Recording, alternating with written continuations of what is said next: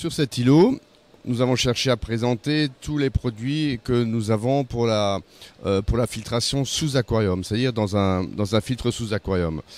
Alors on a ici euh, les quatre écumeurs sous aquarium, donc euh, en version DC pour le 9430, en version DC pour le 9410 et le nouveau petit écumeur pour les bacs nano. Alors on va commencer par celui-ci. Le petit écumeur pour bac nano, en fait, c'est un conteneur à niveau constant avec une pompe, avec un post-filter qui permet de faire une filtration supplémentaire.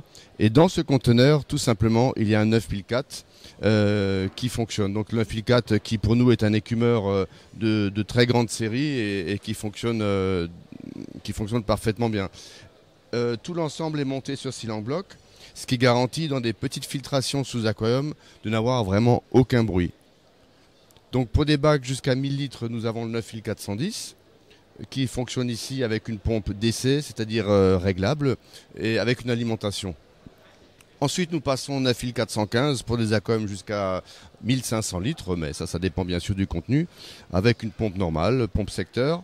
Et le modèle plus gros, le 9430 pour des bacs jusqu'à 3000 litres, avec une pompe à débit variable en DC. Si nous passons sur le podium suivant, nous avons cherché à montrer tout ce qu'on sait faire dans le domaine des réacteurs à calcaire. Nous commençons par notre petit et très connu 3170 qui a encore été modifié un petit peu pour, euh, pour être beaucoup plus fiable au niveau du réglage de l'eau. Et surtout, nous avons euh, deux réacteurs euh, complètement nouveaux qui sont basés sur la console des écumeurs sous aquarium donc il y a euh, un modèle 3172 euh, que qu'on peut utiliser pour des euh, au-delà de 2000 litres, c'est-à-dire suivant le contenu de, on va dire jusqu'à 5000 litres à peu près, et qui contient 10 kg de granulats. Nous avons un modèle plus petit, un peu plus, plus indiqué pour des bacs courants, qui va à peu près jusqu'à 1000 litres, 1200 litres, avec 1,8 kg de, non 1,8 litres de, volume euh, de granulat.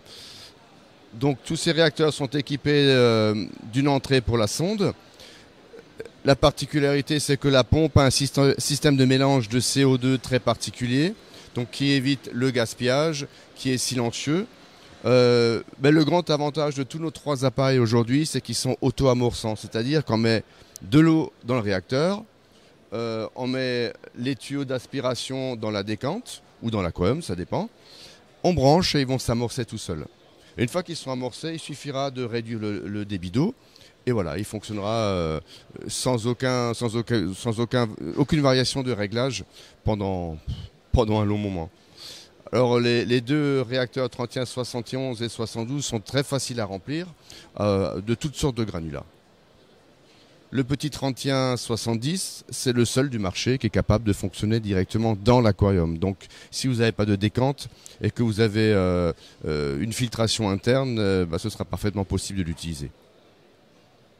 Donc, bien sûr, tous ces appareils sont sont utilisables avec son pH, avec, euh, avec pH mètre. Donc là, nous vous présentons ici un ensemble, c'est ce qu'on a, la bouteille, euh, le détendeur, on a le granulat et le nouveau smart controller qui permettra de faire euh, une régulation du pH. Le granulat utilisé, c'est notre, notre carbonate de calcium très simple qui, qui a le grand avantage de ne pas avoir de, phosphate ou, de, de, matière annexe. Bah là, vous voyez un bac de 400 litres euh, euh, qu'on a monté de manière euh, récifale. Mais je ne pense pas que vous puissiez avoir de pompe. Parce que pour nous, le plus important, c'est de ne pas voir les appareils. Alors cet aquarium est fait de manière minimalistique, mais hum, parfaitement viable. Il y a juste un écumeur 9012 qui va faire l'aspiration de surface et l'écumage avec le godet d'évacuation. On a rajouté encore un osmolateur, et puis euh, voilà, au niveau technique, il n'y a pas grand-chose. On a beaucoup d'aquariums qui fonctionnent comme ça, et de plus en plus de clients sont convaincus que euh, l'écumeur bien dimensionné suffit au fonctionnement du bac. Mais là, vous vous posez certainement la question de savoir où sont les pompes. Eh bien, il y a en fait deux pompes dans ce bac qui permettent de faire le flux et le reflux. Euh, avec une, période ici de une minute, mais en, en, principe on fait ça au bout de 6 heures. Et la pompe ne se voit pas. Et surtout, le plus important, c'est qu'elle ne s'entend pas. C'est une pompe totalement inaudible, euh, qui n'existe pas sur le marché, et qui a euh, la particularité de fonctionner avec un rotor suspendu magnétiquement. Donc c'est ce qu'on appelle euh, le, palier magnétique. ça n'a jamais été utilisé de cette manière en aquariophilie. Et notre fameuse pompe Turbel 3, ben, vous la voyez en arrière-plan, elle suspend dans l'air sur un plateau magnétique. Alors notre fameuse Turbel 3, ben, la voici, elle est ici. Elle est cachée de manière verticale dans un coin de l'aquarium avec un déflecteur de flux qui va vous ramener l'eau vers l'avant du bac, exactement comme, euh, euh, une pompe classique qu'on aurait fixée à cet endroit. Alors cette pompe, euh, vous pouvez y mettre l'oreille. Je vais le faire. Hein.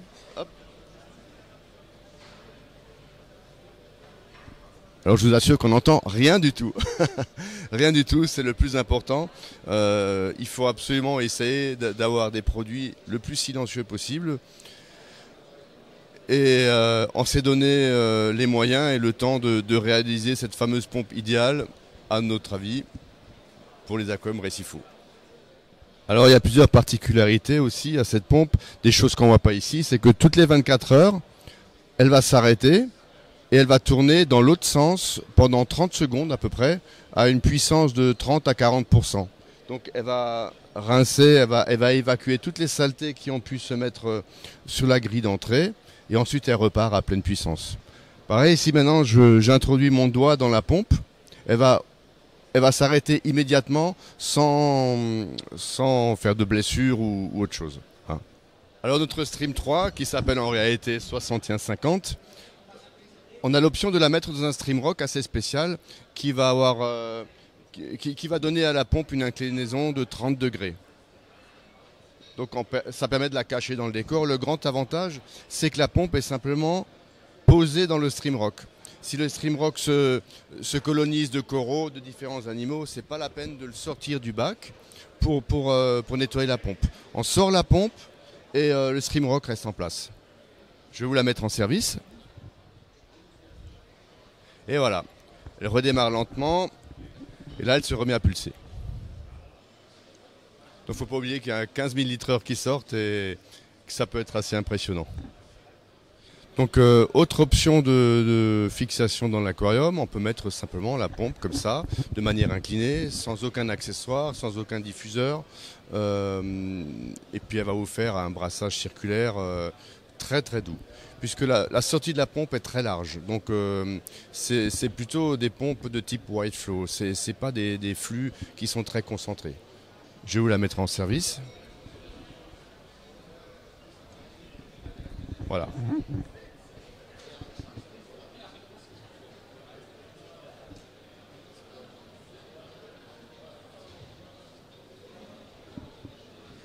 Donc voici l'utilisation la plus courante de cette pompe c'est-à-dire euh, dans un coin de l'aquarium avec le déflecteur de, flux.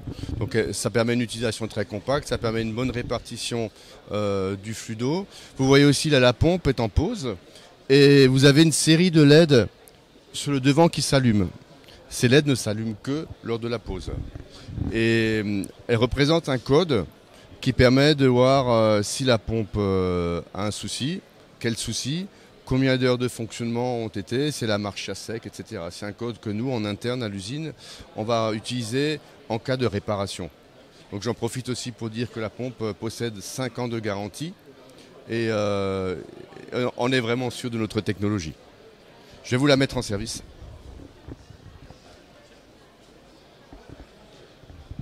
Voilà, elle démarre toujours lentement et à pleine puissance. Voilà.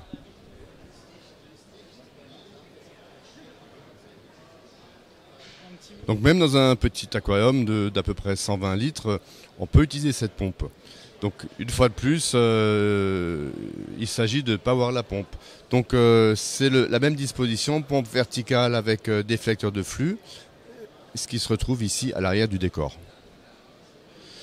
On peut utiliser cette pompe dans des petits bacs parce que elle ne chauffe pas spécialement. Le moteur reste très froid. Par exemple, dans un bac à 25 degrés, euh, on, relève une température du moteur d'à peine 35 degrés, au point le plus chaud. Donc euh, la pompe est toujours livrée avec un contrôleur euh, au bout des 5 mètres de câble.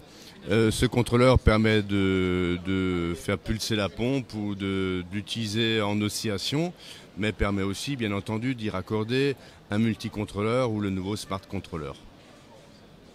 Donc le câble de cette nouvelle pompe est en matière PUR qui résiste particulièrement bien à l'eau de mer, qui ne vieillit pas. On livre la pompe aussi avec une spirale qui évite de, qui évite au câble de se faire grignoter par des oursins, par exemple, quand il y a des algues calcaires dessus. Ce sont toutes des petites améliorations euh, euh, qu'on apporte en raison de l'expérience qu'on a aujourd'hui de, nos produits. La pompe est aussi montée, malgré son silence, sur des petits magnet holders avec cylinder block. Donc euh, même là, sur de la vitre de 6, on n'entend strictement rien. Alors ici, le plateau magnétique symbolise le fait que le rotor soit suspendu dans la pompe. On a envie de toucher, mais on n'a pas le droit. Je profite de l'occasion pour vous montrer euh, le 9012 avec godet évacuation. Voilà. Je vous rappelle que c'est la seule filtration sur ce bac. Donc godet, évacuation qui, est livré avec un tuyau silicone. Donc ici on a fait ce qu'il faudrait faire en général. On a utilisé euh, nos aimants de fixation pour le tuyau PVC. Et voilà, l'évacuation se fait dans le seau. Donc en principe, euh, vous êtes tranquille pour euh, une ou deux semaines en fonction du volume du seau. Et puis nous ici au salon, ça nous arrange bien parce qu'on n'a pas besoin de vider les écumeurs le matin. Donc voici aussi euh, une grande nouveauté pour nous, c'est le Smart Controller. Le Smart Controller euh, a toutes les fonctions du multicontrôleur 7097, c'est-à-dire qu'il peut commander les pompes, les LED. Mais ici, en, plus, vous avez une sonde de température, vous avez sonde pH ou redox, vous avez des quatre sorties qu'on peut étendre par des euh, des y adaptateurs, et vous avez donc un petit ordinateur complet pour piloter tout votre bac. Alors euh, j'en profite, euh, du, je profite du fait qu'on ait notre développeur sur le stand pour lui passer la parole et qui vous explique un petit peu en anglais comment tout ça, ça fonctionne. Voilà, Emmanuel, bonjour. Yes, we have the new Smart Controller 7000 and we are now able to control the complete um, 7000 with uh, via any web browser. So it's possible, for example, to make the lamps You can simulate a complete day. Now you can see on the aquarium in the background that, for example, we simulate a sunrise, and at the end we can simulate um, the sunset. We are also um, we can also measure pH and temperature, and it's possible to calibrate them completely via smartphone. And if you don't want to use the Wi-Fi, you can also use the touch buttons here to go to the yeah to the to the very basic settings. You can set the pumps, you can set the lamps, the switch sockets, or pH or temperature controller. If you have children at home and they also want to touch them or and reset all your settings, we have the possibility to make a very easy um, children protection just to touch them both and now it's locked. And to unlock, just do the same. And it's unlocked again. Nos écumeurs internes ont toujours leur équivalent en filtre mécanique. Hein. par exemple, le 9012 a un filtre mécanique associé qui s'appelle 3168. Le, petit écumeur 9004 a un filtre associé qui s'appelle 3162. Il ne manquerait plus que le petit 9001 qui a maintenant un filtre associé qui s'appelle 3161. Donc voici le filtre 3161 qui possède euh, la fonction bien sûr de, petits filtres pour les bacs nano, mais aussi euh, d'aspirateur de surface pour les grands bacs. Donc il suffit pour ça de régler le débit de la pompe. Pour les petits bacs, on va rester à 150 litres par heure. Pour des grands bacs, on va monter à, 850 litres heure. Donc la, la partie supérieure du filtre peut s'enlever.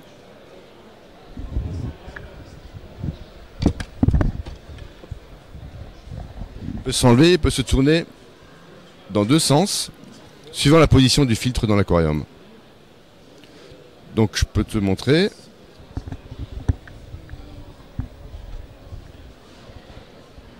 Je peux te montrer les compartiments dans le filtre.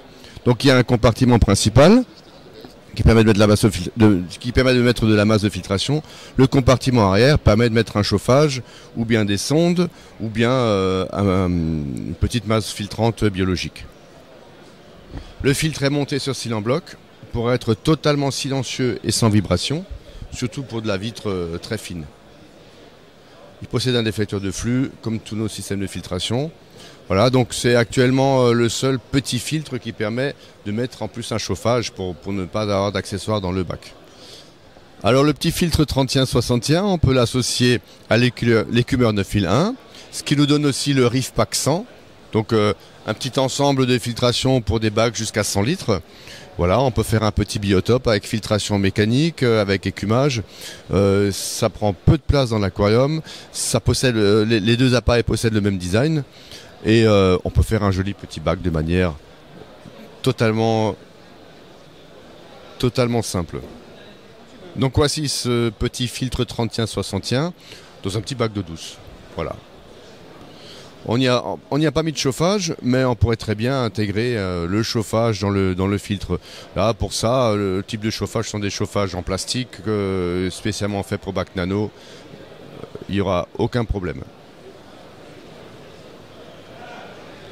Sur ce bac, j'en profite euh, pour vous montrer notre nouveau petit Care Magnet, le Care Magnet euh, Pico, voilà, qui, euh, qui est fait spécialement pour des bacs de 3 à 6 mm de, de verre.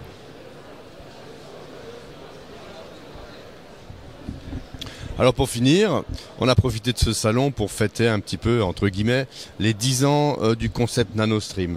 À cette occasion, euh, nous avons créé une, NanoStream 6045 en bleu, ce qui, s'appelle Blue Edition, c'est en série limitée, ça permet de, marquer un petit peu l'événement. Et voilà, donc euh, en 2006, on présentait sur ce stand les premières NanoStream qui, bien, qui bien sûr ont eu un très grand succès. C'était les premières pompes de cette taille pour des aquariums pompes de brassage. Alors aujourd'hui, eh ces pompes vont de, de 2000 litres heure à peu près ou 1800 litres heure jusqu'à 9500 euh, litres heure ou entre 9500 et 10 000. Donc c'est quand même euh, des pompes qui restent d'un petit diamètre, 70 mm, et puis qui sont, qui sont capables de déplacer beaucoup beaucoup d'eau. Alors euh, dans, dans, ce concept NanoStream, il y, en a deux qui sont un petit peu différentes, c'est la 6020 et la 6040, qui sont des pompes verticales avec des flecteurs de flux et qui rejoignent dans ce sens la nouvelle pompe euh, euh, Stream 3 euh, qu'on utilise aussi de manière verticale.